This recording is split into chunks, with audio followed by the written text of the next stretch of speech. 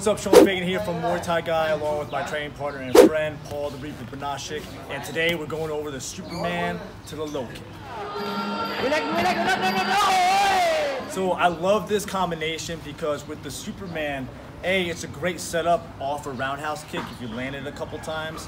And if you land the Superman, can really snap your opponent's head back and catch them off guard. And secondly, if you miss the Superman, or even if you hit the Superman, the low kick is a great follow-up just with the way the body mechanics work. So I used this in my most recent fight. I got asked to break it down, so that's what we're doing today. So first things first is in order to throw the Superman successfully, you need to be throwing some kicks. If you just go balls to the wall, throwing the Superman without any type of setup, it'd be really easy for him to see and just back up and evade, right? So when you throw the Superman, I'm gonna throw from my right side for this example. I lift my leg up.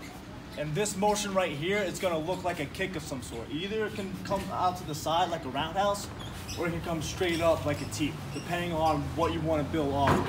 If I land in my rear teep a bunch of times, I'm gonna use the straight forward motion to snap this back. If I've thrown the right roundhouse a couple times, then I'm gonna throw the outside motion into the Superman. So it really depends on what was working earlier on in the sequence or the fight, okay? So I'll do uh, the, the teep for this instance. So I'm gonna lift my leg up, okay? From here, I'm gonna shoot my leg back. And as I do that, my body is naturally gonna be coming forward, right? And as I do that, this, this is why it's called Superman, because you're like flying like Superman right here, right? So from here, I'm gonna snap, and as I snap, I'm gonna skip my front leg forward, okay? And now my whole body weight is shifted onto my left foot, and my left shoulder is pivoted over here, or rotated over this way.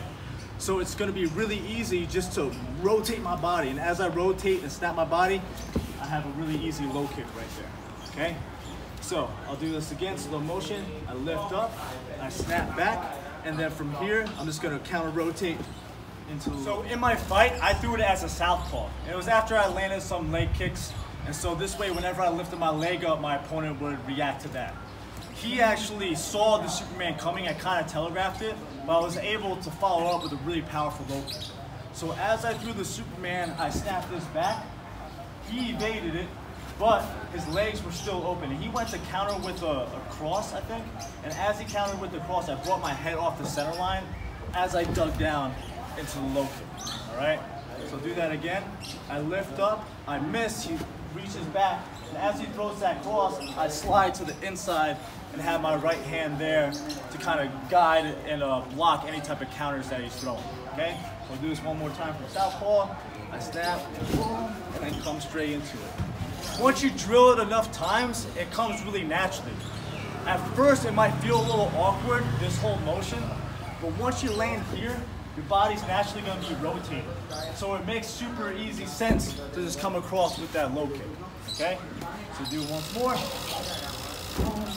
Boom.